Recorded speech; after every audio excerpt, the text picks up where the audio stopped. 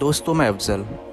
दोस्तों, ये जो वीडियो क्लिप आपने देखी, इस वीडियो में दो लड़कियाँ हैं जो इस्लामिक स्कूल जाती हैं। स्कूल जाते वक्त रास्ते में ही वो रुक जाती हैं। उन्होंने कुछ ऐसा देखा, जिसे देखने के बाद वो वहीं रुक गई।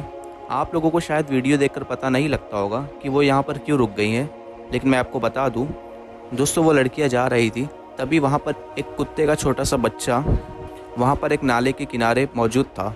और वहाँ पर सभी लोग आ रहे थे, जा रहे थे। वीडियो में आपने देखा कि एक शख्स भी वहाँ से गुजरा। उसकी भी नज़र उस कुत्ते के बच्चे पे पड़ी, लेकिन वो उसे नज़रअंदाज करके आगे बढ़ गया। लेकिन उन बच्चियों से रहा नहीं गया। वो बच्चियाँ उस कुत्ते के बच्चे को उठाई वहाँ से और उसे किनारे लगा दिया, क्योंकि मुमकिन था कि वो कुत्ते का बच्चा नाले में गिर जाता और बह जाता। दोस्तों, इस्लाम धर्म में हर एक मखलूक की मदद करने की तालीम दी गई है। और ये एक बहुत बड़ी नेकी है, जो अल्लाह की मखलूक पर रहम करते हैं। अल्लाह उन पर रहम करता है। दोस्तों, आप लोगों की क्या राय है इस वीडियो के बारे में? क्या इस लड़की ने सही किया? और वो लड़का जिसने इसे नज़रअंदाज करके आगे बढ़ गया, क्या उसने सही किया? आप लोग कमेंट बॉक्स में अपनी राय का इजहार ज़रूर दें। और अगर आप चैनल पे नए हैं तो सब्सक्राइब कर ले और बेल आइकन को दबा ले ताकि इसी तरह की वीडियोस हम आपके लिए आगे भी लाते रहें।